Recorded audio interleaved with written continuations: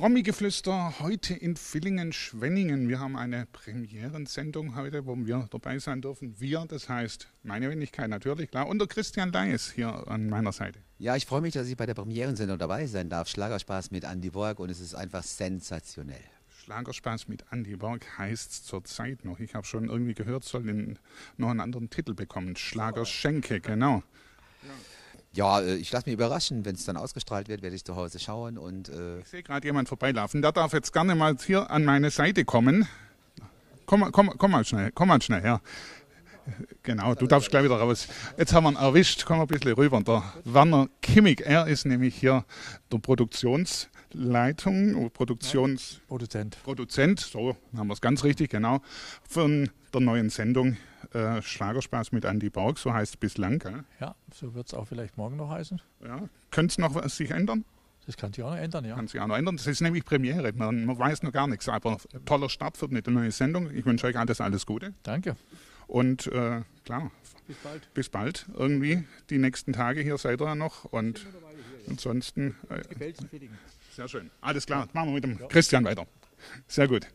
So viel da dazu, genau. Äh, zwei Titel hast du heute präsentieren dürfen, aber eine Premiere war dabei. Komm, komm, komm ein kleines bisschen wieder rüber. Eine. Ich habe zum ersten Mal im, im deutschen Fernsehen einen deutsch-italienischen Song gesungen, weil ich ja italienische Wurzeln habe. Mein Papa ist Italiano und ich habe das Lied begleitet mich eigentlich schon seit Kindheit an. Das ist von Alan Soretti, L'unica donna per me. Du bist die schönste Frau in meinem Leben. Und ich habe mir das selber mal für mich gewünscht, dass ich mal so einen italienischen Song mache, italienisch-deutsch. Und das hat mir sehr viel Spaß gemacht. Und die Nummer gibt es auch auf Deutsch. Alles, was ich brauche, bist du. Genau, das haben ich glaube viele schon gecovert. Claudia Jung hat schon gemacht, Hoffmann und Hoffmann haben das schon gemacht, einige. Aber ich glaube, es hat noch keiner italienisch-deutsch gemacht. Jetzt äh, haben wir vor kurzem ein Foto gesehen von dir auf Instagram. Da sah es ein bisschen anders aus. Ich meine, wenn ich ja. dir jetzt auf die Schulter klopfen würde, oh, dann würdest du, dann würdest du schreien. Auer machen. Ja, es wird Auer machen. Ich habe einen Unfall gehabt vor circa einer Woche. Ich wollte in mein Badezimmer laufen. Ich habe eine nette kleine Katze zu Hause und die hat nichts anderes zu tun gehabt, mir vor die Füße zu rennen.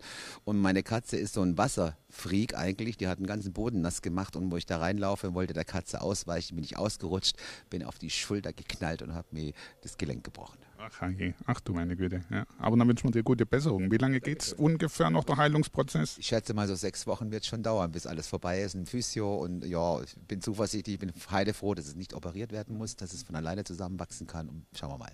Dann wünschen wir, wie gesagt, gute Besserung und vielleicht ist ja bis Weihnachten alles wieder im Lot soweit. Das muss, das muss vorbei sein. Ich gehe ja nächstes Jahr auf äh, Tournee zum ersten Mal in meinem Leben. Ich habe ja mein Album rausgebracht im Mai.